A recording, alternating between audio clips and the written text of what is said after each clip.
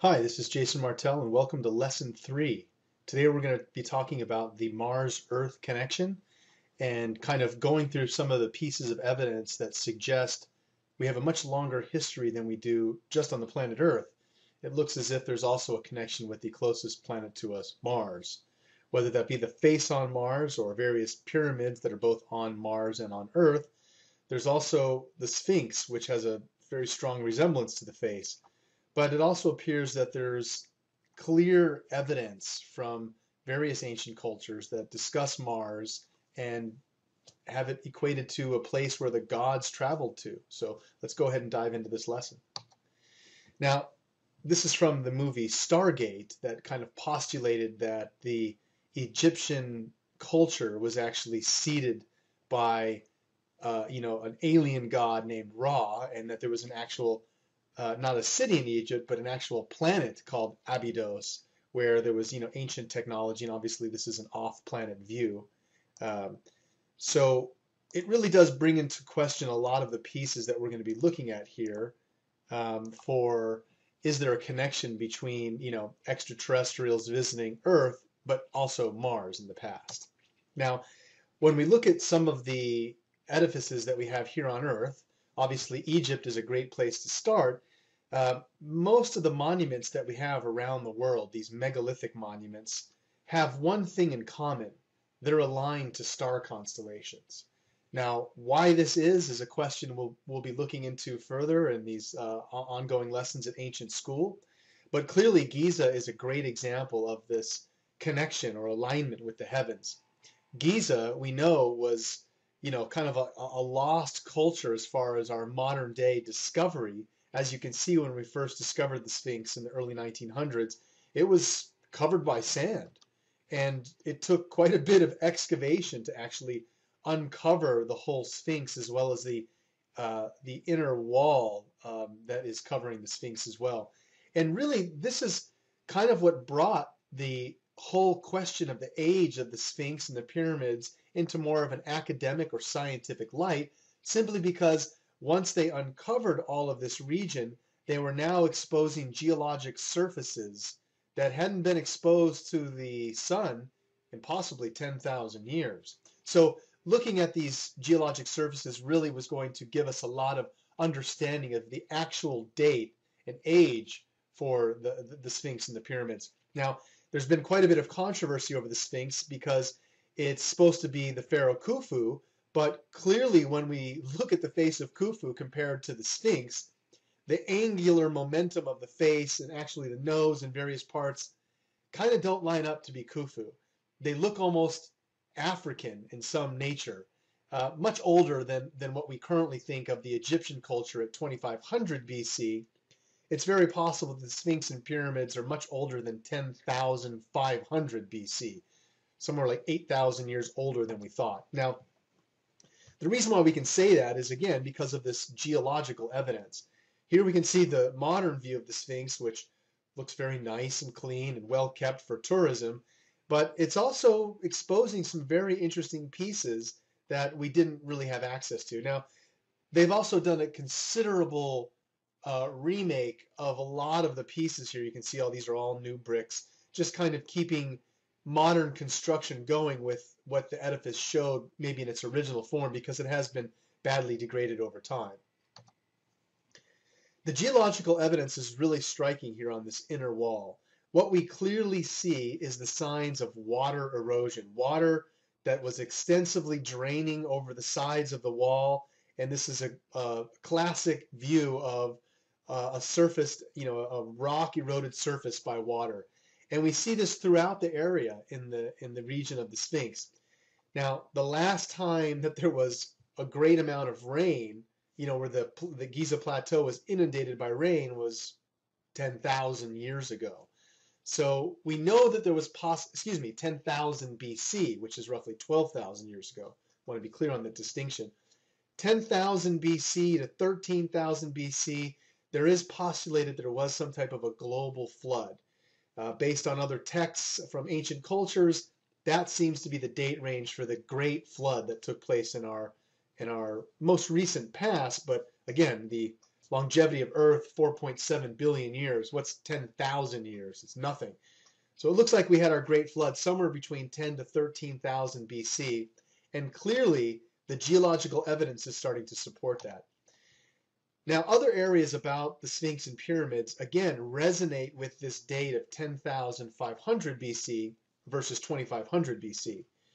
One of the main things that we look at as far as the you know perfection of the Great Pyramid is not only its alignment on the ground, which is perfectly situated to true north-south, and is literally on the most center point of all of the land masses like put together on Earth. It, Giza, the Great Pyramid, is literally pinpointing the exact center point of our uh, our entire landmass on Earth. So, one, they built it in a very specific location, alignment-wise on Earth. But more even interest, more even more interesting, I should say, is they were able to align it to a constellation. The three pyramids from a satellite view have an exact representation of the Orion constellation you can see the accuracy in the alignments here, but this one happens to be just slightly offset. Well, where have we seen this view before? Pretty much the Orion constellation, if you were to look up in the night sky, you'll see that it's three stars, the belt stars of Orion, perfectly aligned with the third one slightly offset. Now, this can't be by chance that using star charting software, constellation software, uh, you know, some of this is just downloadable for free, Redshift and such. You can plug into this various, you know, star charting software and find out where are the star is going to be in what position above me tonight, tomorrow night, a week from tonight, or 10,000 years ago. Okay, so we can run this model, and it turns out that the Orion constellation is a perfect alignment to the three pyramids of Giza in the year 10,500 BC. It's as if the pyramids were built as a terrestrial alignment to the Orion constellation. On that specific date, they fall into alignment, 10,500 BC. Now, what's also interesting to note is that the Sphinx, at that exact date of 10,500 BC, is looking east directly into the constellation of Leo.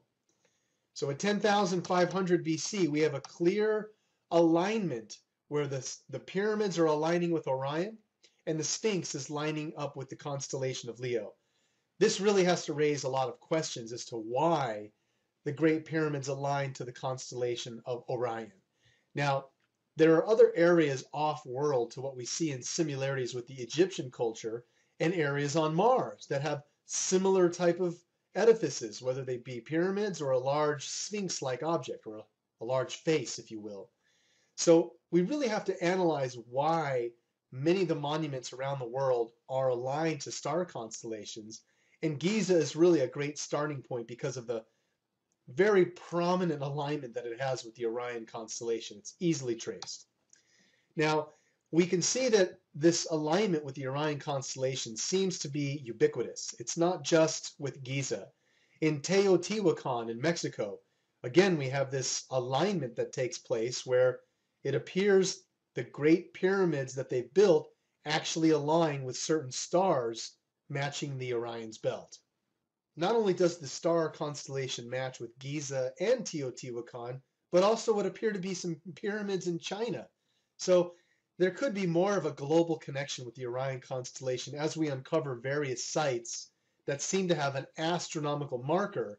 It's very prominent that many of these were interested in tracking the Orion constellation.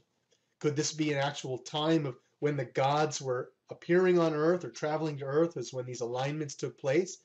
Or is it simply that the gods came from that vicinity, possibly that star constellation or that, that cluster? These are very interesting questions to look at because these alignments, again, are global. Now, again, some of these things are, are off the planet Earth and still are of great interest to us because what we're clearly seeing are similarities between what's happened on Mars could possibly be what's in store for Earth thousands of years down the road. And it almost seems as if civilization at some point was connected very strongly with Mars, if not a complete own civilization existing on Mars in the past that possibly then transferred here to Earth? You know, we really don't know. But these are very interesting questions that we'll look into. And some of the evidence that you're going to see in today's lesson, again, raises a lot of questions. One, why is this information being withheld from the general public? But two, is there actually a longer history with other planets in our solar system that human civilizations or possibly extraterrestrial civilizations have been occupying? well, we know for sure that in the region of Cydonia on Mars, we have our, you know, what are clear uh, artificial structures. Now, not only are these on what appear to be an ancient shoreline, you can see that, and we'll talk about that here in a minute. Notice how all of this bright, knobby terrain seems to change in appearance and mellow out, where there's not as many visible bumps and it's a darker terrain. Well, that's because this is an ancient shoreline.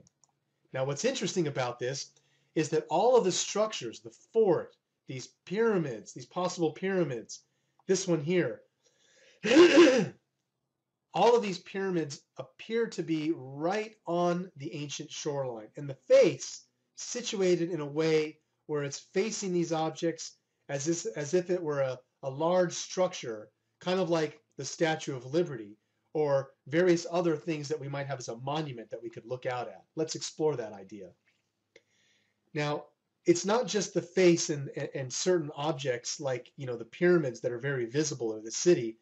There are actually other structures, the cliff, this this crater, um, the tholus, you know, various other things we now know have a geometric or a, or a geographic and geometric connection to each other. They're aligned in certain ways that defy nature.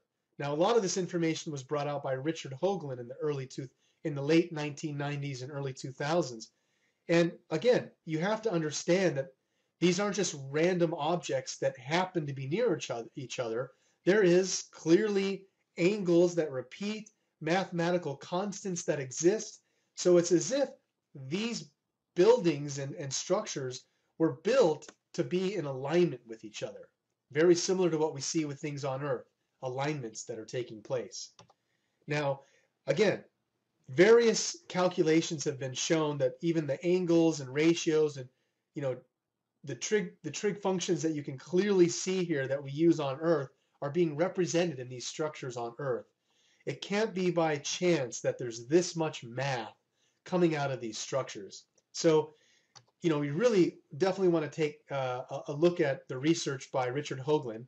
Uh, he wrote a great book called the monuments of, of mars the monuments of mars. Um, you can also just buy these videos, which I highly recommend, and they kind of take you through all the pertinent information related to these alignments, which is again very intriguing. But you know, we really have to raise the question that the city and this pyramid, the face, and some of these other structures, they weren't built by chance to be in similar uh, placement to each other. These angles just don't exist naturally uh, without a cause. So clearly we're seeing signs of a civilization that existed on Mars, but obviously this is thousands of years ago. Maybe this is at the same time frame of what we're looking at with these alignments in Giza at 10,500 BC. There's very clear possibilities of an advanced civilization that was globally all over Earth and also possibly on Mars. Now again, when we look at these structures, uh, you can see that people have speculated that they're actual, you know, complex pyramids in various shapes and sizes. And that could be the case. These have been eroded over thousands of years, and so their true shape, nature, or purpose is really kind of foreign to us. But again, we're looking at structures on another planet, and obviously we can see similarities from what we have here on Earth as a living planet. The dead Mars still gives us signs that there was life. Now, let's really look at this ancient shoreline uh, up close for a second. You can clearly see again this what appears to be a landmass where it's all bright, knobby terrain, more of a dusty look, to this water area where it's it's very sedimentary looking, darker, less uh, disturbance. The topography is very clear to what we would see here on Earth that this slight change in topography is an actual shoreline. And the face has been situated in, in water so that these various structures, since we all love to live on waterfront property, would be situated perfectly to look out at this large edifice, which is, just so you know, 1,500 feet high and over a mile long on its longest side here. So it's not a not a small object. But this shoreline clearly exists. Here it is from just a different angle. And again, the terrain change right along where all of these objects are. There's almost like things that would lead right into the ocean. It's very clear that these objects, if they are artificial, are conveniently built right on a shoreline. And the face is situated where it's literally angled to these objects where it would clearly be visible as an edifice of a face, a large face being uh, seen from the shoreline. So we have to wonder if this isn't just by chance. We, we have to realize that the, the placement of these structures gives it a perfect view of this face. So there must there must have been some great prominence for why this face was carved. And if we look into Zecharia Sitchin's book, The Lost Book of Enki, he clearly talks about why this god was banished to the planet Mars and why his followers made this large edifice of his face. So if we want to believe the evidence, the same gods that created us in their image and after their likeness, based on the Sumerian texts, were also on Mars and, and, and were, were probably responsible for that Cydonia complex. When, when this image was first transmitted live from NASA in the 1970s, they just labeled it head, right? And they just said it's a trick of light and shadow. Clear shadow defined here because the sun's probably up at this angle. But as we've seen in the last lesson, that answer did not hold up. Uh, so I really just want to stress the point that even though this face is badly damaged, we've clearly been able to extrapolate that there's data that needs to be taken under further consideration. I mean, obviously, these are Sphinx like characteristics. If you just looked at this, the similarities of it being lion like, Egyptian like, pharaonic like, you know, some type of headdress, the winged disc, clearly visible, some type of, you know, Egyptian symbology embedded into this structure. There must be a connection between the Sphinx and pyramids in Egypt and the face and pyramids on Mars. So we will definitely explore this as the data continues to become available as a public view. We will continue to image Cydonia unless there's a huge public outcry like there was in the 90s where we literally picketed in front of NASA. No joke. They're not going to release a lot of images of these structures. But if the public is encouraged strongly enough to make an outcry, we can get further data. So please be aware of the missions that we're sending to Mars because as you're going to see in these next few frames, there is critical information right in front of our nose. You just have to pay attention to it. ESA is one of the latest satellites that we have orbiting Mars, taking color photographs of the surface of the planet. Now, color is really a key word there. NASA has been sending probes to Mars for several decades. and we never get color images. Never. That doesn't mean that they're not taking color images. They actually image the planet in a larger spectrum of light than what our human eye can process. But I think that might be for a reason. It's almost like they don't want to show us what the human eye's perspective of scenery is like on Mars. We get these scientific views of larger spectrums of light being taken in from, from the camera, but it doesn't give you the visible light range that you would see if you were on the surface of the planet.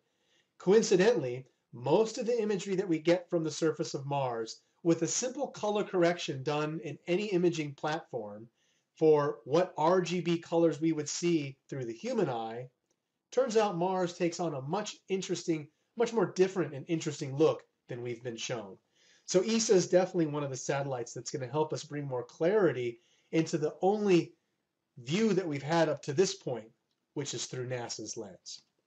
Now, this is the point in case number one. The Gusev crater is a very specific region that we've been looking at on Mars. Looks like it's an ancient uh, ocean or, or, or the floor of an ocean.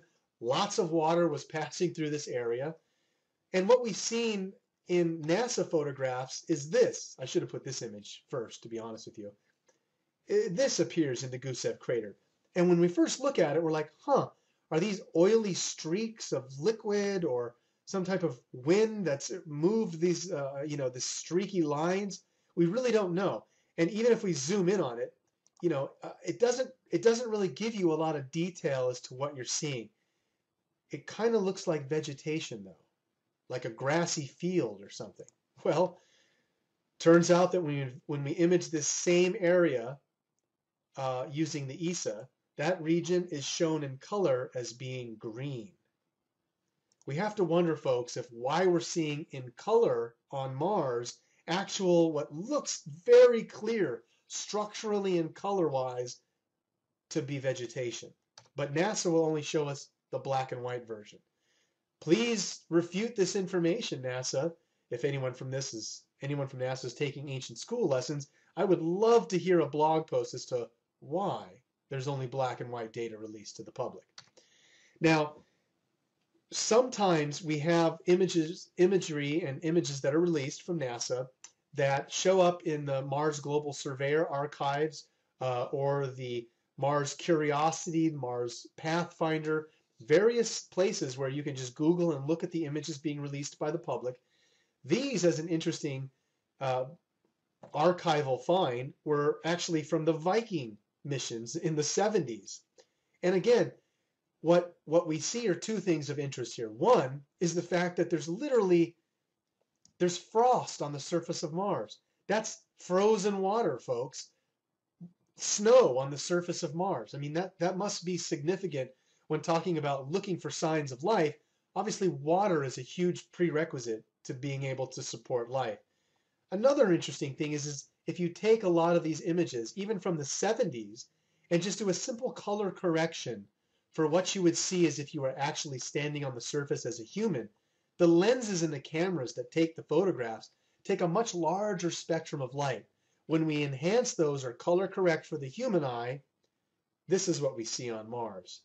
The actual color of the snow and the actual color of the sky. Much more Earth-like. Why is this being withheld? Every once in a while on a live press conference, they'll show you a color-corrected view.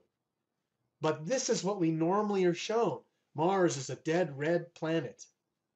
I don't think so, folks. I think all the evidence is starting to turn the other way.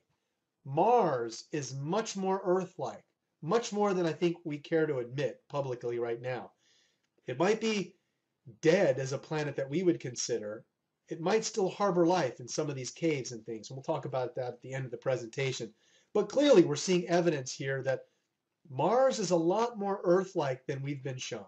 Now, when we look at a lot of this data, color corrected, we can again see similar minerals and rocks that we have that we share here on Earth, also with Mars, that when they're color corrected, Mars again shows all the signs of being more of an Earth-like planet, from the atmosphere to the sky, again to the minerals and, and lake beds and ocean beds that we're finding. And this is really a key part, is the fact that we're finding what appear to be ancient saltwater oceans that were flowing on Mars. I'm finding evidence that shows water is still flowing on Mars today, but we just haven't publicly admitted it yet.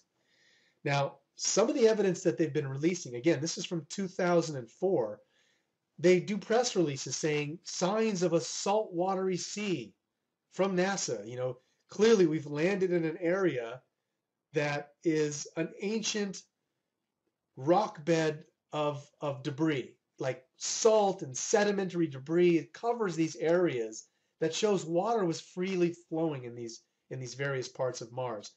We see Mars still has that ice cap in the bottom. You know, the the top and bottom have uh, polar ice caps, but there's pretty good evidence to show that the the water was flowing freely all over the surface of Mars, similar to what we have here on Earth. Now, when we look at various sections of this Gusev crater or other areas on Mars that they're studying, again, we see this clear evidence that there was a water flow, and they're even starting to get measurements as to how thick of the how thick the water level was in various spots. And what you can see, these little dots uh, are very clear signs of water and sedimentary debris being uh, left in this in this type of a form. We see this all over the Earth as well as clearly now on Mars. What's interesting about this is not only are they looking at the fact that there's sedimentary debris, but every now and then, even in their just daily mundane scientific reporting, anomalies appear. This one that we're looking at here uh, is very interesting because they basically said that, you know, just a little time passed, and then all of all of a sudden, when they looked at the imagery, this mysterious metallic, what they called, what they said looks like a jelly donut, which I think is a, a bad description.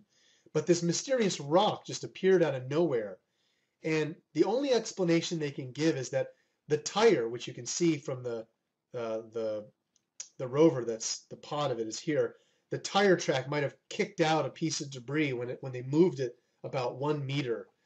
But you know that's very unlikely. So I'm not saying that somebody put this here, and obviously it wasn't here just a little while before.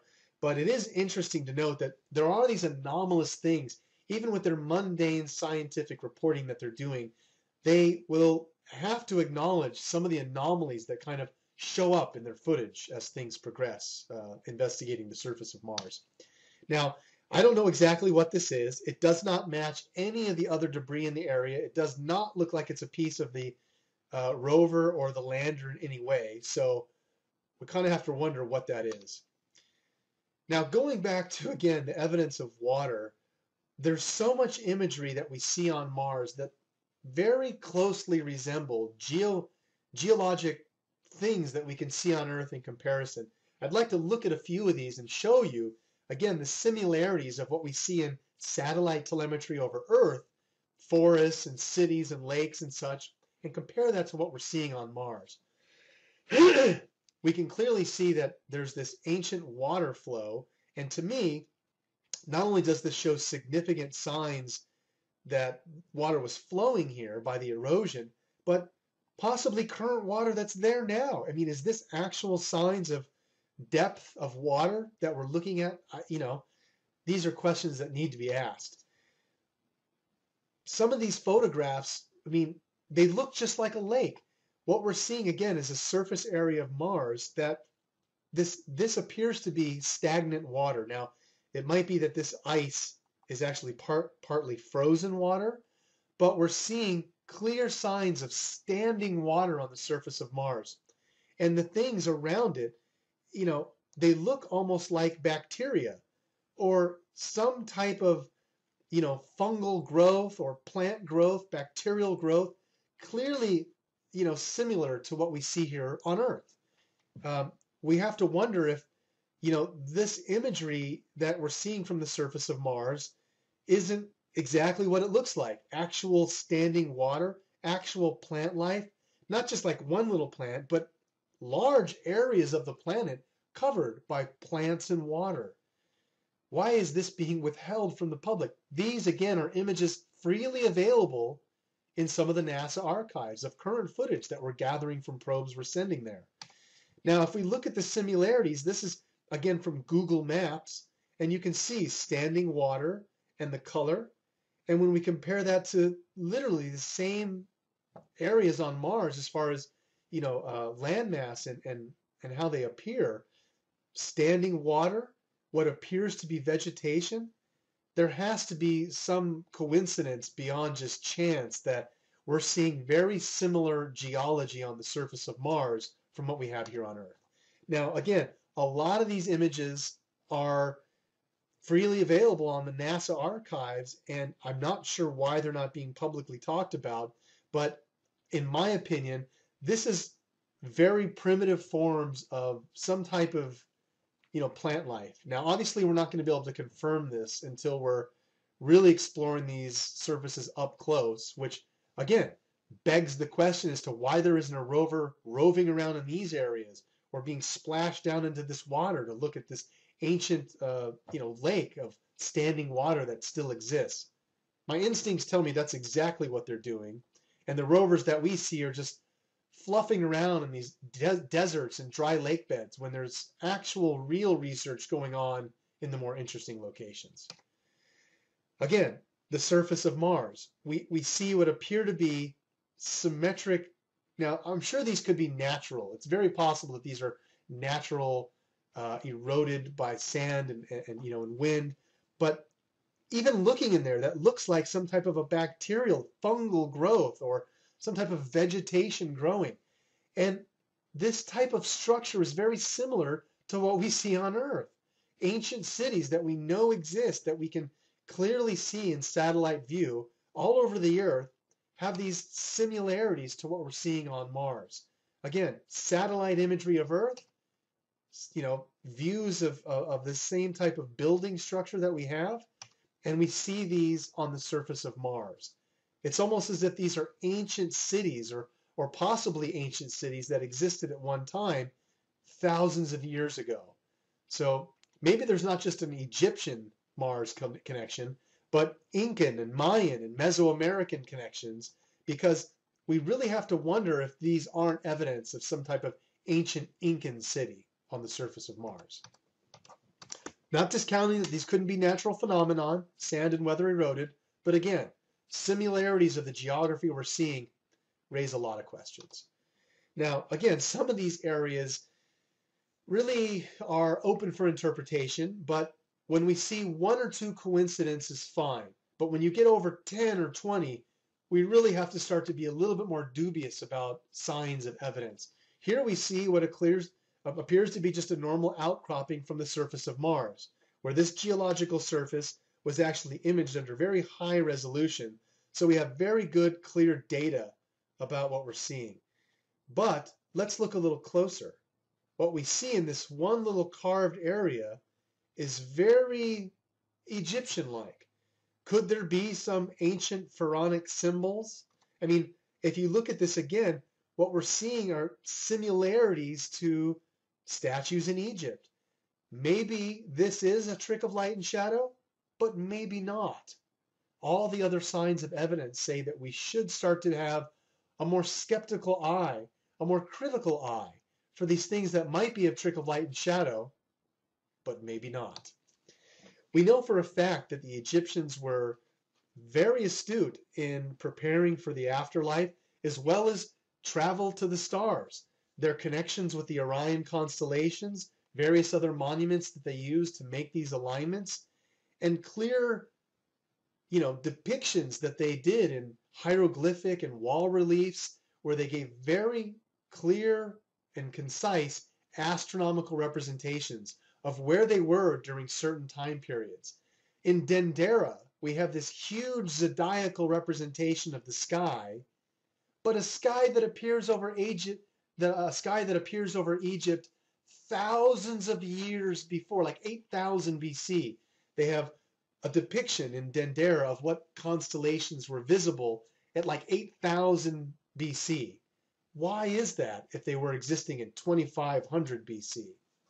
The only answer is that they actually have a, a longer history of information that spans these thousands and thousands of years, or this culture existed much longer than, than we think. That Egyptians' pharaonic past doesn't start at 2500 BC, but extends well into the past, 13,000 BC, something like that. Now, again, some of the evidence to support this ancient Egyptian connection with the stars is some of the clear representation of what appear to be spacecraft and shuttlecraft, speeders and helicopters. These have long been refuted as hieroglyphics that were cracked off and, and fell away. No, no, don't be told improper information. The Abydos region has lots of information from evidence of electricity in Dendera, evidence of it, you know, sophisticated craft, it's very possible that they were traveling to the stars, and the evidence we see on other planets is us traveling to other stars. So it's very possible that we do have a connection between Mars and Earth with this clear representation of a face and pyramids on Mars and the Sphinx and pyramids in, in Egypt. Uh, so interesting technology being represented by the Egyptians. Now, just a couple other points here you know, some of the other ancient cultures, the most ancient one that we have record of, which we talked about in lesson one, the Sumerians, they had clear, clear uh, depictions and descriptions of how the Anunnaki were traveling between Mars and Earth. And they actually depicted, you can see here, uh, an Anunnaki with the seven dots of Earth. Remember the sacred number seven. If you're coming from outside the, our solar system in, Earth is the seventh planet. So a man from the seventh planet with our crescent moon travels on the winged disk to the planet Mars. And here's that dolphin symbol again of what we saw on Mars. Is there some connection, some watery connection between Earth and Mars in the past? Well, clearly the Anunnaki and the representation of the winged disk traveling back and forth. There's lots of evidence. The Lost Book of Enki, in Zecharia Sitchin's book, The Lost Book of Enki, he clearly describes how they used Mars as a way station. The Anunnaki mining the gold and using us to mine the gold on Earth, they would then transport the gold to Mars before it made its final pass off to the planet Nibiru. So we know that there is definitely an ancient connection, a Mars-Earth connection.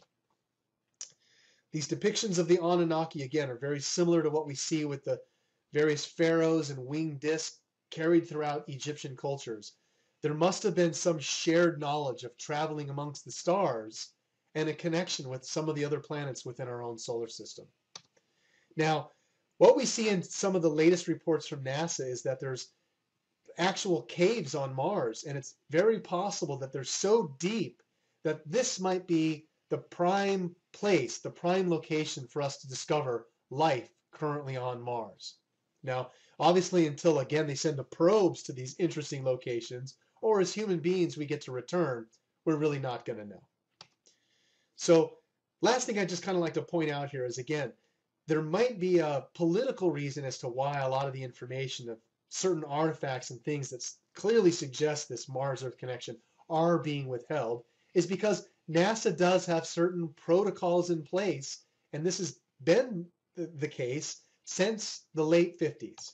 Uh, in the late 50s, the Brookings Institute, NASA hired the Brookings Institute to prepare a very long report about what would happen if human beings were ever to interact with extraterrestrial life, if human beings ever found evidence of extraterrestrial life, and how we would handle those in society, economic, religious, even philosophical views would all be greatly impacted by the knowledge of an extraterrestrial presence. So it's very possible that NASA, since the 50s, has just held tight to this mandate, their protocol, to quarantine this type of information and probably classify it under some random department of the Department of Defense so that it's never made public. Clearly, if anyone pays attention to what we're doing in space on just the public side, information can be learned. I definitely would recommend, as I mentioned, looking into the Lost Book of Enki.